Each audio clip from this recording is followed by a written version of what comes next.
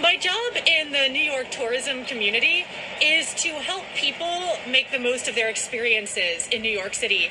I give almost any type of tour that you can imagine. My favorite tours to give are lower Manhattan tours and Gossip Girl tours, uh, but I can give a Tacos of Harlem tour, a Brooklyn Bridge tour, anything you want.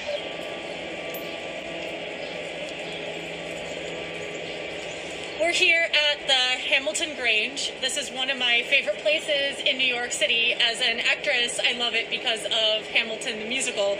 And as a tour guide, I love it because of the really rich history that it has. This is the only home that Alexander Hamilton ever owned. He moved into it in 1802. And Alexander Hamilton, one of our founding fathers, knew a thing or two about plagues.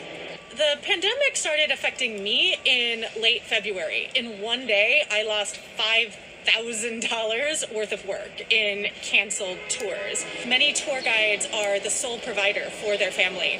They have kids, they have a partner, sometimes they're caring for a sick parent or relative, and now they are unable to make the income that they Going forward, I think a lot of the guides in the guiding community are looking at ways of creating virtual content, different platforms for creating virtual tours, whether or not it's on Zoom or Instagram Live or Facebook. Our hope is that our documentation of this time will show the world that New York City has done the work and that the world can come back to New York City.